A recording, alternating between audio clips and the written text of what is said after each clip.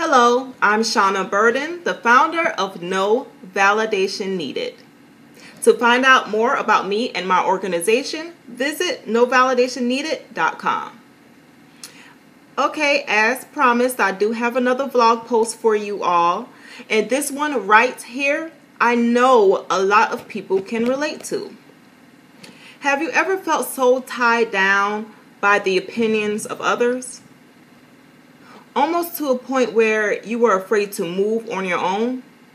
It's almost like you're paralyzed by fear because you're afraid of being criticized, you're afraid of being laughed at, you're afraid of failing in front of everybody, you're just scared. We all have been here, or we've all been through this at some point in our lives. So let's talk a little deeper about this. Let's talk about people bondage.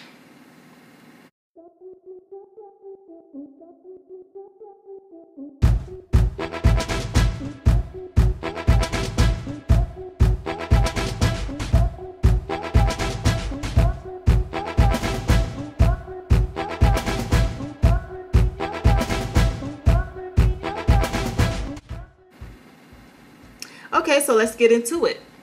Like a puppet on a string. That's what I think about when I think of people bondage. Because you're being tugged and pulled in every direction in your life. Keyword, your.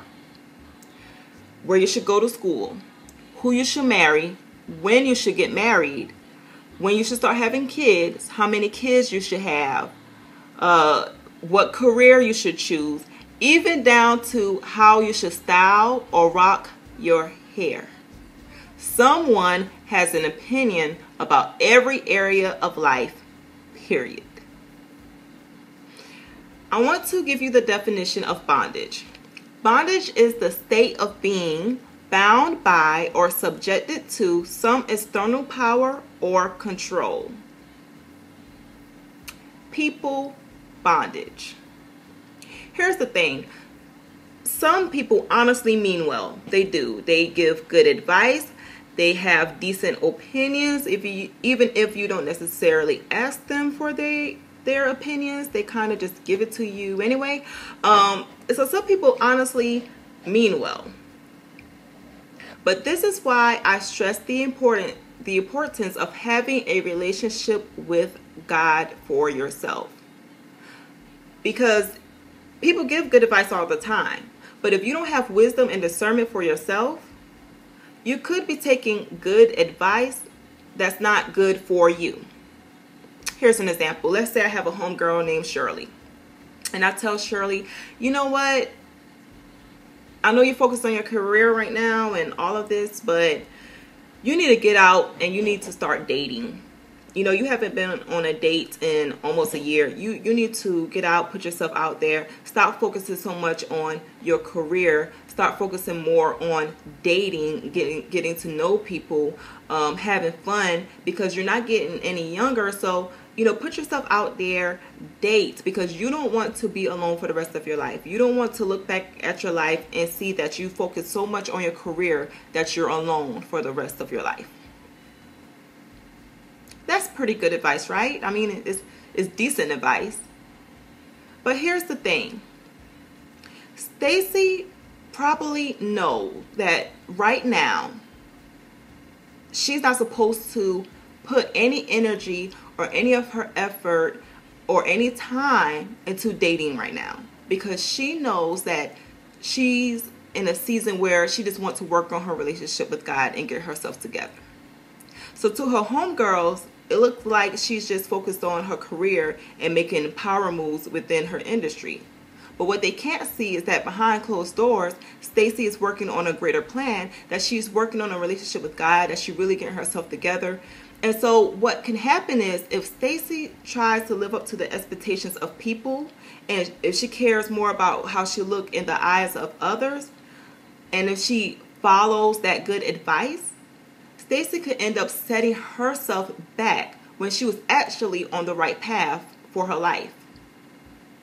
You cannot be more concerned with your image in the eyes of others than you are in being in alignment with God. If you know that God placed something on your heart, He gave you a vision for something, you will be really setting yourself backwards by taking good advice from people who don't even who can't even see the vision that you have in your head, who don't even know what issues you're struggling with and the reason why you're making certain choices. People bondage. I want to uh, read this quote, which is a, a really good one and it relates to this topic. Don't ever let negative and toxic people rent space in your head. Raise the rent and kick them out. You can't afford to be in bondage. You can't afford to miss your moment because you are more focused on how other people see you or perceive you. It's very important that you know peace and that you follow the peace of God. I don't care if you are a supervisor at McDonald's. If you have a peace about that uh, about that and you know that that is where God, you know, have you for right now and you know that this is where you need to be, why would you allow family or friends to come in and to make you feel otherwise?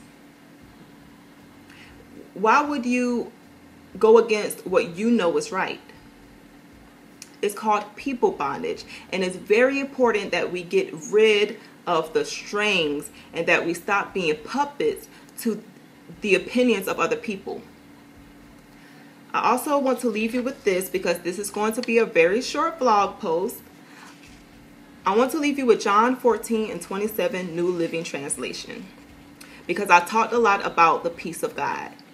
I am leaving you with a gift, peace of mind and heart. And the peace I give is a gift the world cannot give. So don't be troubled or afraid.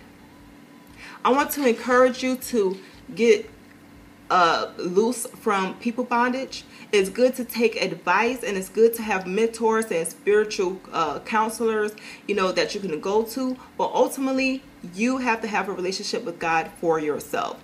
Don't be afraid to go to Him for yourself and follow the peace of God. You have to have peace about whatever decision you make or whatever road you decide to take. All right, so I'm going to wrap up this vlog post. Please subscribe to the YouTube channel. I may be posting a vlog every other month or however I feel led to do so. So just keep up with me. Also, keep up with me on my social media networks. Of course, I have a Twitter. My official Instagram post is No Validation Needed. And my official website is NoValidationNeeded.com.